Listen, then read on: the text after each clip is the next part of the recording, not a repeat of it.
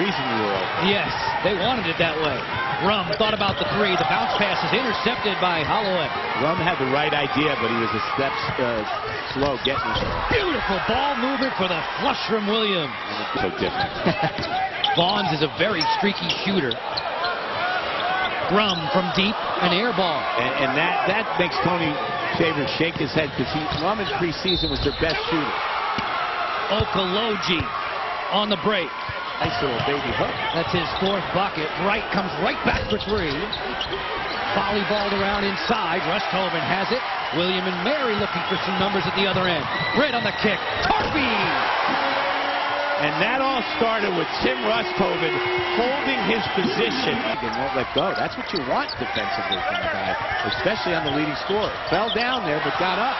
Breakaway. Britt. Corey Edwards looking over the defense, man-to-man for William and Mary.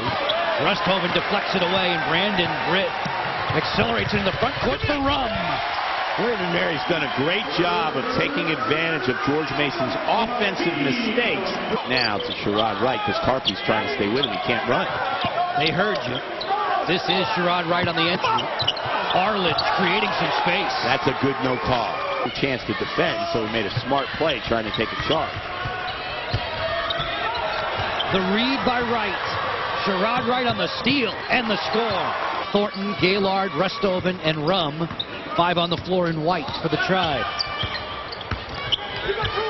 Rusthoven's open. 19 now for the big fella. Schaub has a visit to the doctor's plan for Monday. He's been dealing with mononucleosis. Allen the other way on the bounce to Wright. Nicely done there. 9%, one of two for Edwards. Give him eight points on the day. Down the stretch we go with 40 seconds left. Britt has been dynamic in the second half. Marcus Thornton heave ho. Thornton reloads. This will be short, and it's over. George Mason has won eight straight in this gym. Head coach Paul Hewitt over to congratulate and commiserate.